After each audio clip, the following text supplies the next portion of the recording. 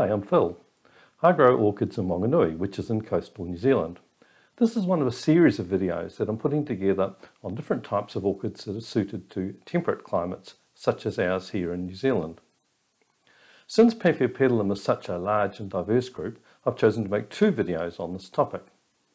This one is on the main groups of paphs, their features and how their culture varies. So my aim in this video is learning how the subgroup suggests slightly different growing requirements. Much of what I'll be discussing here is general rather than specific. There will be various exceptions. Paphs are natives to Southeast Asia. The ones we grow largely come from eastern India through to Indonesia.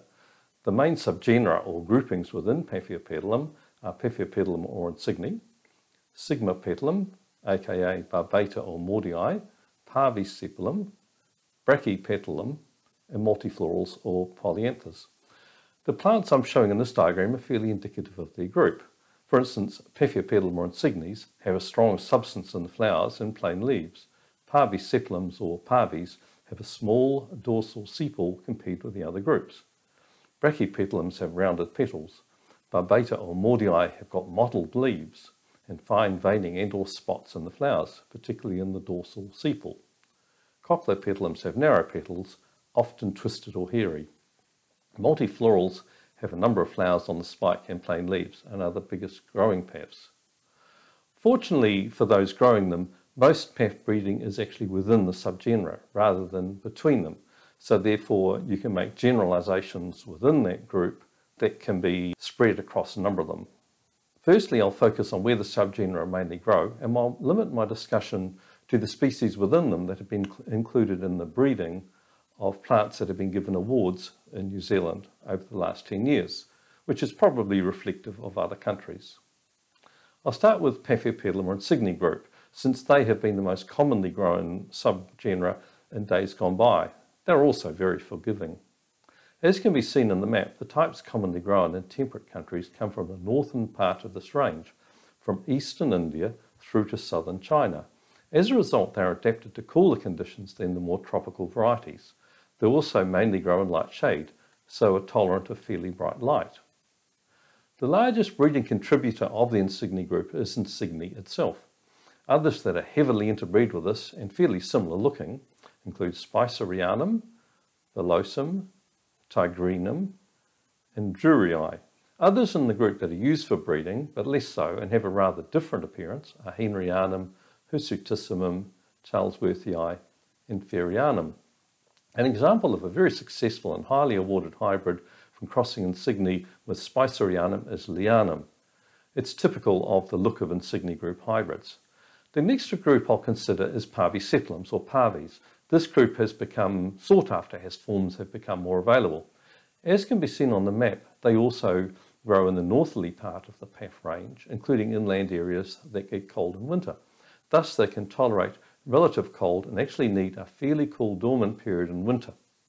They grow under the shade of trees, so don't, don't tolerate as much light as insignes. I have a friend who has found that he can grow his parvies uh, under his bench with protection from drip from above. Having said this, all parvies are quite small and dainty plants. They aren't as tolerant of mistreatment, say pests or such like as insigne types. Working from the most cold hardy, the parvies include Armeniacum, Malipoense, Micranthum, Hangianum, Emersonii, Vietnamense, and Delenatii. An example of hybridization within this group is Fanaticum, which is a cross, sometimes naturally occurring in the wild, between Malipoense and Micranthum. I'll now discuss the Barbata or Maudiae group, which is a very diverse one and a huge part of modern breeding. These grow all over the show in Southeast Asia, so are relatively hard to pin down. I'll use Paph sukhakulii, which is the most commonly used ancestor of modern hybrids of all Paphs, as a benchmark. This grows under trees in inland Thailand, so requires warmer temperatures than the previous group, and also reasonable shade. Another common source of breeding, Paph lawrenceanum, grows close to the sea in northern Borneo and requires warmer temperatures again. Since there is a huge amount of breeding among barbata, it is fair to treat them as requiring temperatures of over 10 degrees Celsius. they do tolerate fairly strong light. A lot of the Barbata group are fairly similar and are intensively interbred. These I find quite similar in appearance are Sukhakulii, purpuratum, venustum, callosum, superbiens, and Lawrenceanum. Other similar ones tolerating lower light or temperatures Uh, Barbatum and Maudiae. Forms with less similar appearance uh, are Appletonianum, Tonsum, Mastersianum, Hookeri, and Dayanum. A typical example of interbreeding within this group is Macaba, which is Sukhakulii crossed with the hybrid Voodoo Magic. A group growing in similar conditions is Brachypetalums, which grow in a range from warm situations, for example, Paph niveum, to more temperate, for example, Paph bellatulum. Others in the group are Concolor, Godefroyi, and Leucochilum. An example of breeding in this group is Wellesleyanum, a cross of Godefroyi and Concolor. Again, their light requirements vary, but mainly they tolerate fairly strong light. There are two groups that particularly need constant warmth and certainly have no rest period, such as those mentioned for parvies. The main group here is the multiflorals, big growing and plain leaf plants that are widespread in a tropical zone, mainly in Indonesia, Malaysia, and the Philippines. Multiflorals need fairly strong light to flower.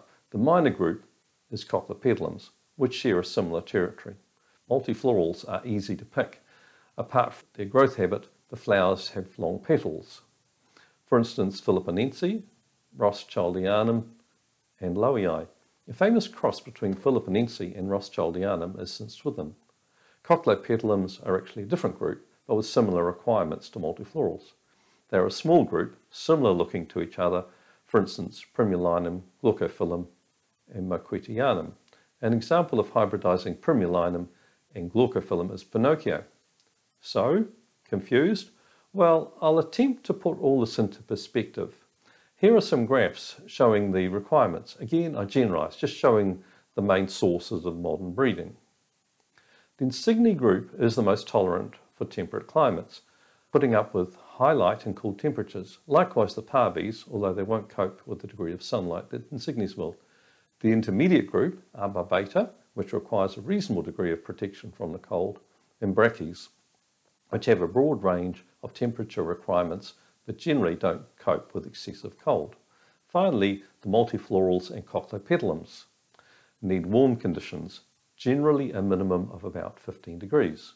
Some of the multiflorals are big growing, which helps them to cope with the cold, but warmth is still needed to bring them to flowering along with strong light.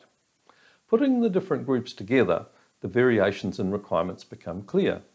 Insignes and parvies will tolerate cool conditions and may actually require winter chilling. Barbata and bracchies need intermediate temperatures without a cool spell. Finally, the multiflorals and cochleopetalums need constant warmth and strong light. A reminder that I've produced a companion video to this one where I discuss the general requirements for growing this genus. So for example, the potting media, the amount of light and watering requirements would tend to be fairly specific. Thanks for watching.